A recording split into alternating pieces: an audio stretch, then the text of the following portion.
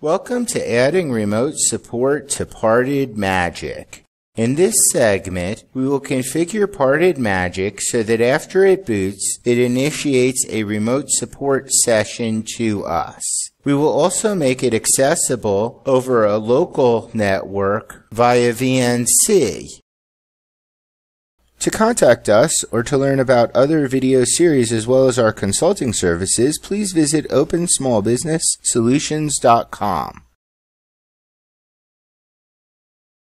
To do this, we will create a startup.sh script. We will also create a tweaks.txz package. We'll open the ISO of Parted Magic with ISO Master.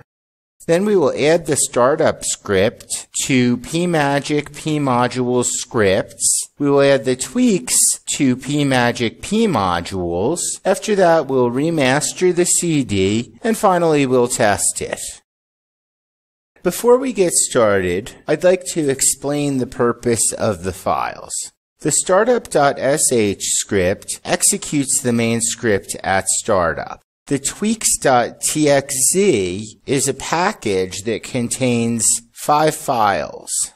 The main script launches reverse VNC session, and if that fails, it starts up the VNC server so that you can do a forward VNC connection into the machine. Support.sh is a script to manually launch the reverse VNC session. VNCserver.sh is a script to manually launch the VNC server. Support.desktop is a desktop shortcut to run the support script. And VNCserver.desktop is a desktop shortcut to run the VNC server script. So let's get started.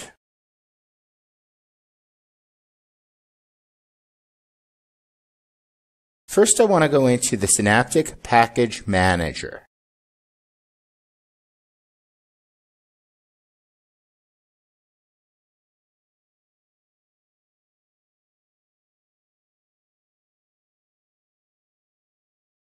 Let's start typing in ISO master.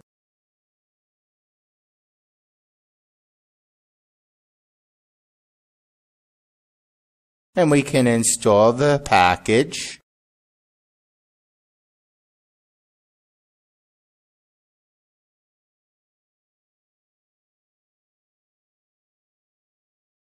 Now we want to go into our text editor. We're going to create the startup shell script.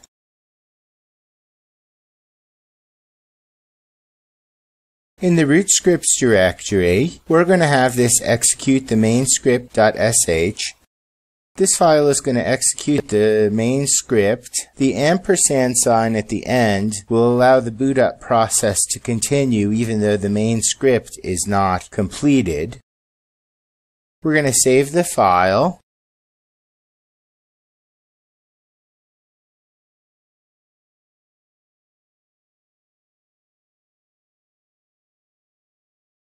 We'll call it startup.sh.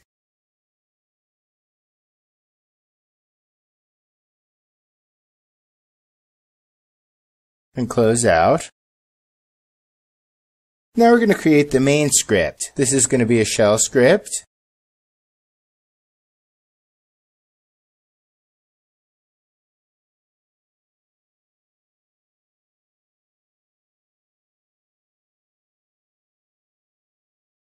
And the file gets put in the scripts folder. One of the important things to do is to wait long enough for the GUI to load before the VNC server starts. If the VNC server starts before the GUI loads, it will fail. I found that 60 seconds seems to work pretty well.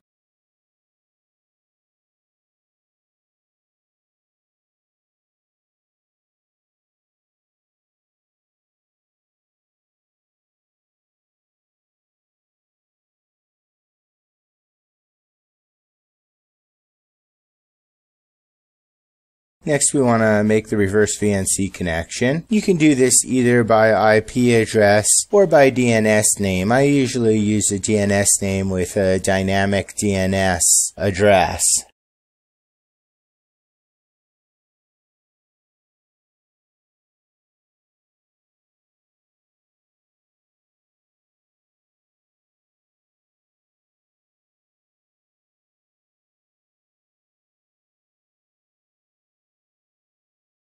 So we have X11 VNC with our switches. We have dash connect and this is the IP address or DNS name, colon, and then we have the port number. I'm using 5901 in this example.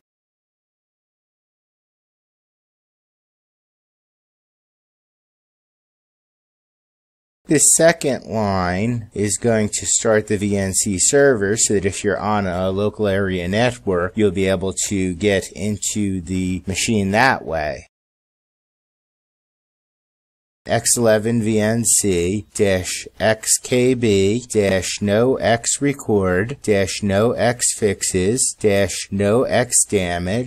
RFB port 5900. So that's going to be listening on 5900. And then we have our dash O, which is the output file, goes into the var log x11vnc.log. So now we can save our changes. We'll create a folder called root. And inside that folder, we'll create another folder called scripts. And we're going to save this as main underscore script dot sh.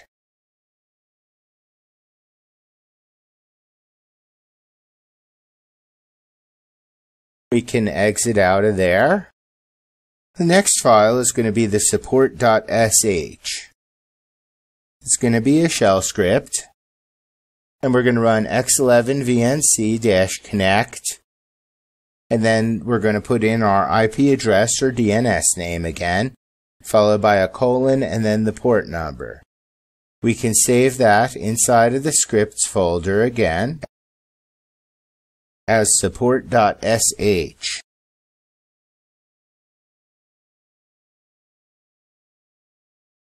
We can open up a new file, close out the old one, this is going to be vncserver.sh.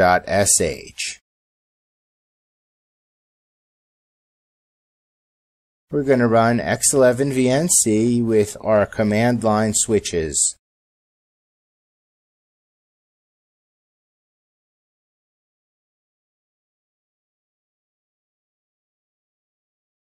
And again, we're going to use port 5900 for the listening.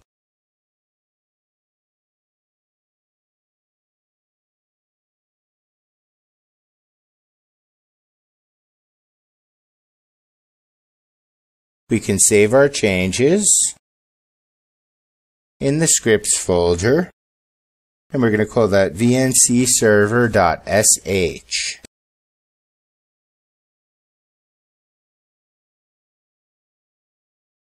Create a new file. Close out of the old one. This is going to be a desktop shortcut that launches the support.sh script. This is useful if you want to start a remote support session after the system is booted up. For example, if the system is connected to the network via Wi-Fi, you can boot it up, connect the Wi-Fi connection, and then double click on the shortcut to initiate the connection. The name is going to be support,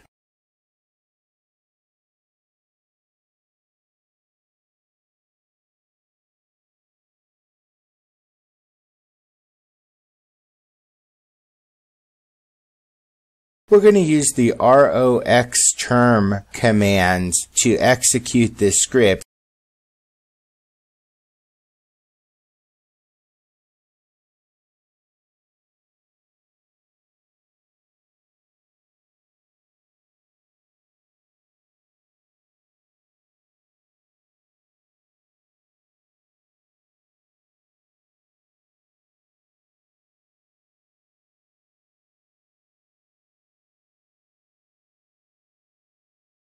Terminal is false.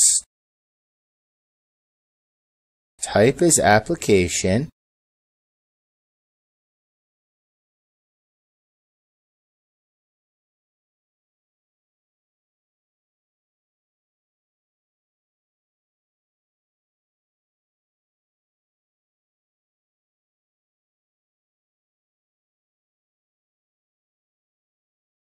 We're going to save our changes. And we're going to create a new folder called desktop with a capital D.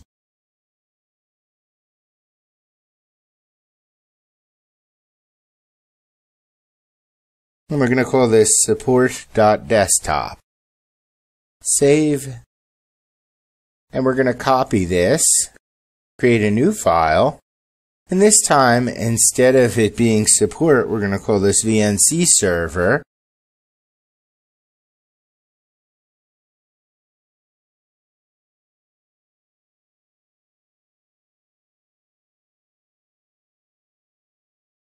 And instead of running the support script, we're going to run the VNC server script.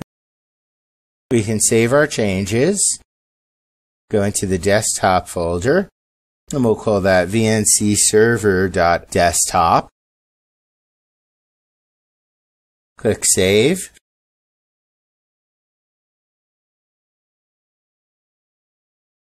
And exit out. Now we can go into our file manager,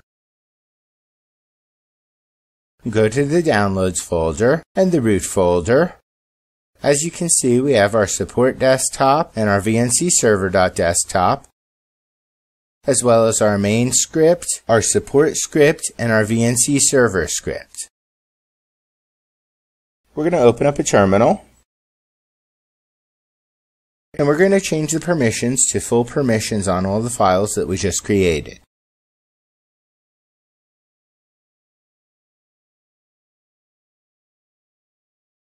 We're just going to verify that that took effect.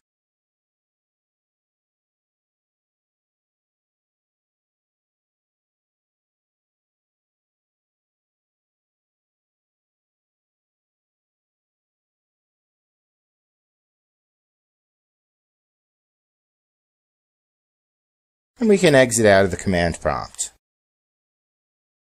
The next thing that we want to do is convert the root folder into a TXZ file. We're going to right click on it and click compress. The option we're looking for is .tar.xz. We're going to call the file tweaks and create it. There's actually no difference between a .tar.xz file and a .txz file. Parted Magic is looking for a .txz file though, so we will rename the extension to .txz. Next we can go into ISO Master. If we go to File, and open, we can open up the ISO of Parted Magic. Then we go into the PMagic folder and the PModules folder. The tweaks.txz gets added as a module. And in the scripts folder, we can put the startup.sh. Next thing we need to do is save our changes. So we click File and then Save As. And we can give this a new name. I'm going to call this pmagic-remote-support and I'll put a date at the end.